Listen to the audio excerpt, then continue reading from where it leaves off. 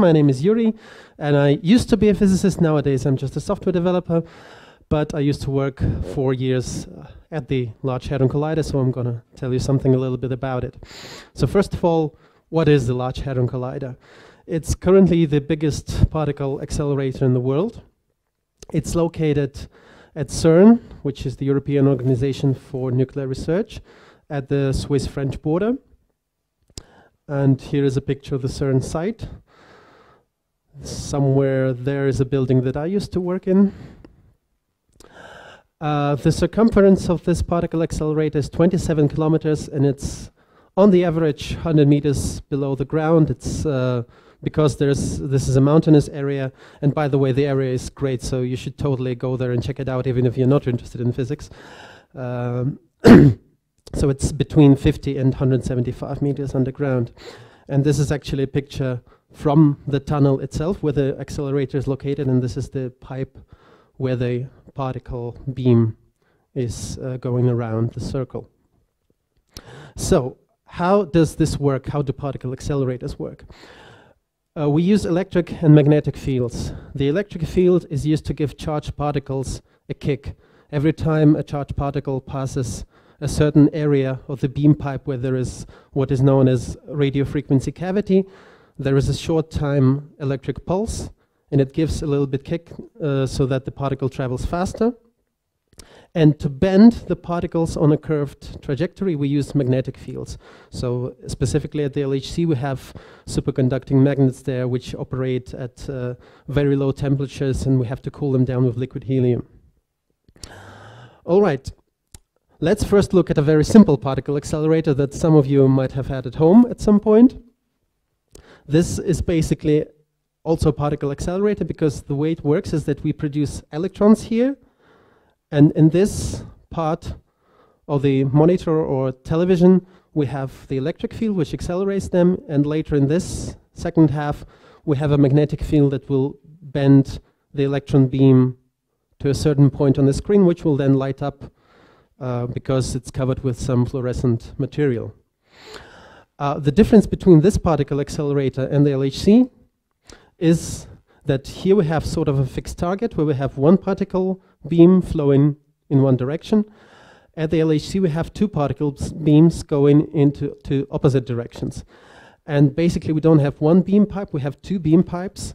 They intersect at four points where four big experiments, for big detectors are located. Uh, and Unfortunately, I don't have any time to go into details of these detectors. I myself personally worked at the ATLAS detector, which is uh, basically a common purpose detector, detects whatever particles uh, can be produced in the reactions. Now, one small detail before we uh, go to the particle thing, uh, uh, the LHC does not accelerate the particles from zero. It's just not possible with the circular design. So what we have there is we have a series of pre-accelerators. We start with linear accelerators, so there's a source of particles. With linear accelerators, they're injected in the first circle where they're accelerated more, then it goes to the next circle, and so on and so on.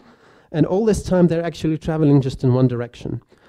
Only here, when we finally injecting them into the LHC itself, we have two pipes which go in both directions, and in the LHC we have both directions of the particle beams.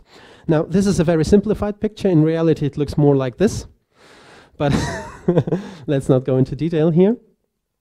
So why do we do this? Why do we collide particles at all? What do we expect to find? The interesting thing is that we can actually produce some other particles. And this is possible due to Einstein's equation, E is equal mc squared, which means that energy is mass, and we can produce mass from energy. And the energy that we're talking about is the kinetic energy of the two particle beams, and when they collide, this energy is set free, and some other particles can be created in this reaction and we can study them especially if we find some new particles which we haven't seen before and here you can see these are two event displays this is from the atlas experiment this is from a cms experiment to uh, which which show how uh, a collision event looks like in a detector in a schematic way and uh, uh you can see that these are some high energetic particles which travel uh, basically perpendicular to the beam axis. So the beam axis in this picture goes this way, and in that picture it goes this way. And you see some uh, particles were created which are going perpendicular with high energy. And th these basically kind of particles that we want to measure. And the rest is a little bit of noise, and we'll talk later about where this noise comes from. So we talked about the collider part. Let's now talk about the hadron part. What is a hadron? Now, you might know that there are some particles which are elementary, but then again, there are some particles which have even smaller constituent particles. Such are, for example, a proton and a neutron. In fact, they have, uh, each of them has three constituent particles which are called quarks. And here they are denoted with these uh, colorful circles. There are altogether six types of quarks. In the proton and the neutron, we just have two, denoted here by U and D, which means up and down, very original names. Uh, and basically, uh, particles which are made of quarks, they're called hadrons. There are many more than just these. There are maybe hundreds of them, because you can use all six quarks in all kinds of different combinations. But this is not the end of the story, because the quarks have to be bound within a hadron somehow.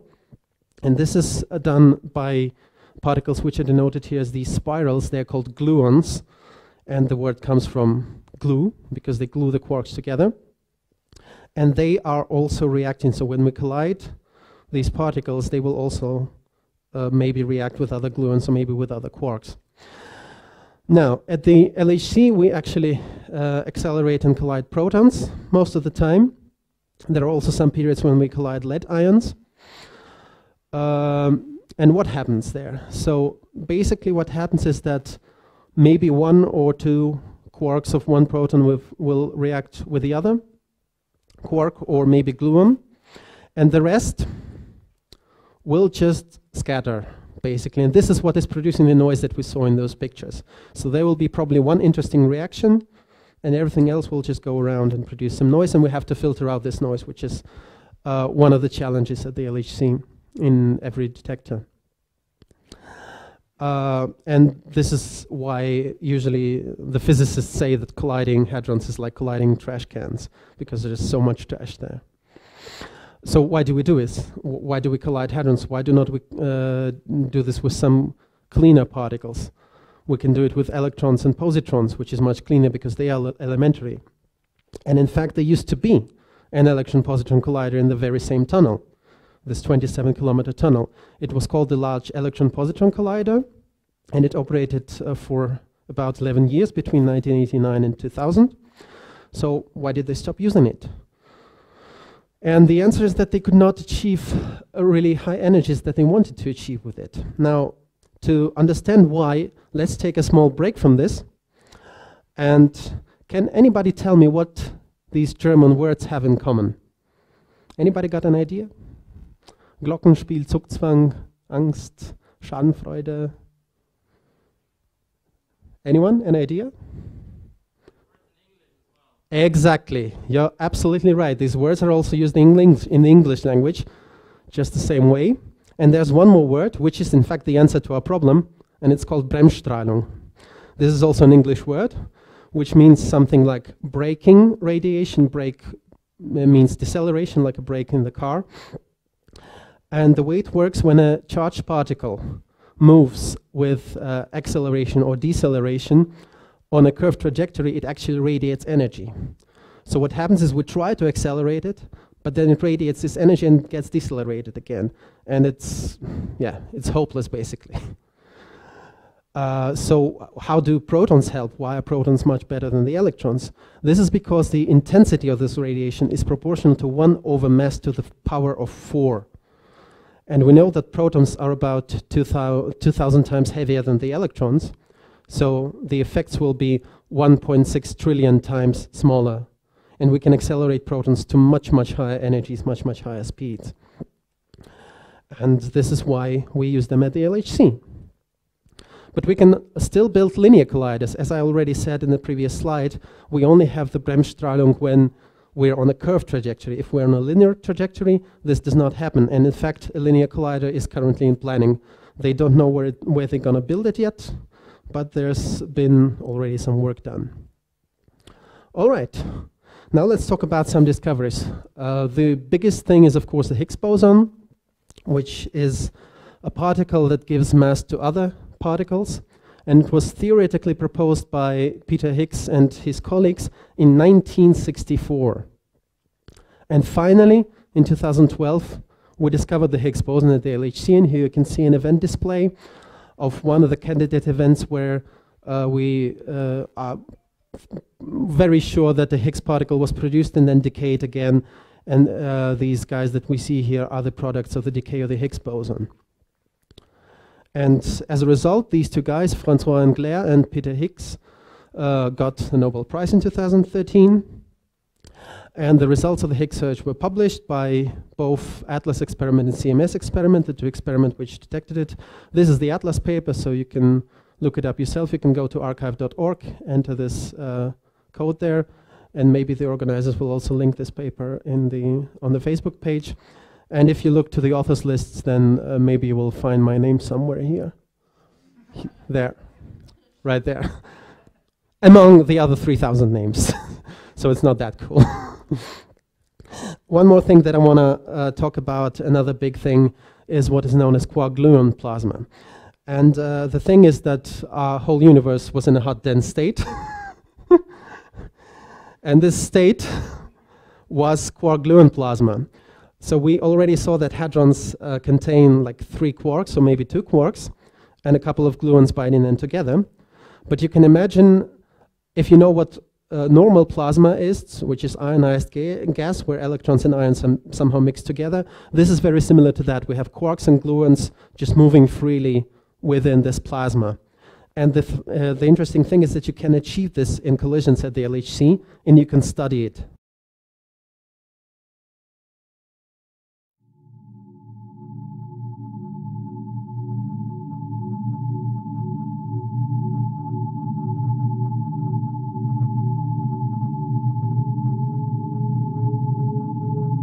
The second, the third, and now they're gonna be split into two beams in the opposite direction. They go around the LHC. There's a beam pipe which you might recognize.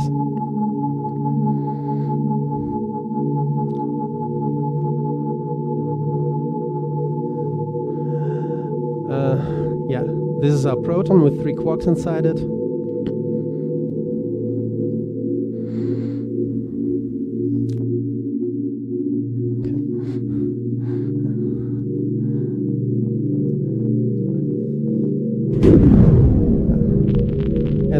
Collision. There's oops.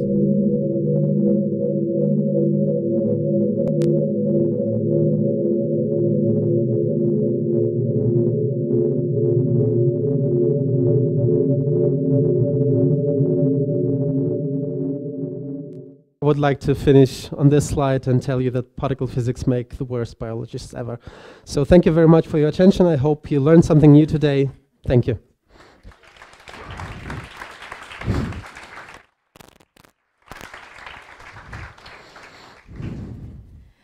Thank you so much, Yuri. So now we have about five minutes for questions. Anyone have questions? Okay. I'm just wondering how could change our everyday life. That's a very good question. the question was how uh, the discoveries at the LHC could change our everyday life. Uh, maybe not really in the next hundred years. But fortunately, there are other advantages of doing uh, particle acceleration because we also learn how to build detectors, uh, which may be useful in some other studies where we can have uh, other more quick results. And another interesting thing is, for example, when we started doing physics with protons, we found out that the way they react with matter when they uh, go, for example, inside a, a sheet of matter, they do not give all their energy away at the entry point, but a little bit deeper, which means, and, and, and this depth is actually, um, it depends on the energy of the beam. So you can adjust it. And you can use it, for example, to treat uh, cancer tumors, because you can really direct the proton beam so that it will only give it energy away at the place where you have the tumor. So these kinds of things are more practical, and whatever fundamental physics we discover and study, as said, maybe not in the next hundred years. Thank you for the questions. And which one do you want to take? Uh, I This saw this first. first. one. Hmm. Okay. How many protons did you use for each collision? Um, yeah, so uh, we are talking about uh, not single protons flying around there. We're talking about bunches of protons, and each bunch contains about 100,000 to million protons. And at the same time, we have about 1,000 or 2,000 bunches in the ring. And we have collisions happening every 25 nanoseconds or something. And every time a huge bunch collides with another huge bunch. So this means actually that we produce much more noise than just from those scattering things. And we have what is known as a pileup effect because sometimes several protons will collide, not just producing noise, but producing some interesting stuff. Um, so this is quite challenging, but on the other hand, it allows us to have um, many more interesting events, for example, producing the Higgs particle. What is the? Uh, We don't have neutrons there. We only have used protons there because you cannot accelerate neutrons. Pr- it's just a hydrogen tank. The- because proton is the nucleus of the hydrogen atom, so we just have a hydrogen tank sitting there, and we bump it into the linear accelerator. Yes.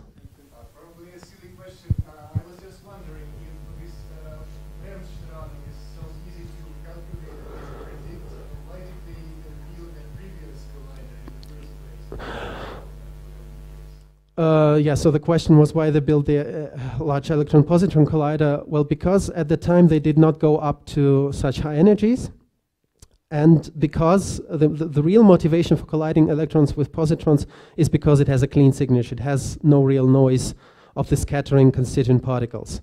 So you get a very clean picture, and that's, by the way, the motivation also for the International Linear Collider. What they want to do is, now that we know the mass of the Higgs particle, we know exactly at which energy we would collide electrons and positrons. So with the ILC, we could make um, basically a Higgs factory. Yeah. Okay, we have a little bit of time for one more question, if there is any other question. Nobody's asking about black holes for some reason. Maybe that's a discussion for the break. Maybe. So, thank you so much, Yuri.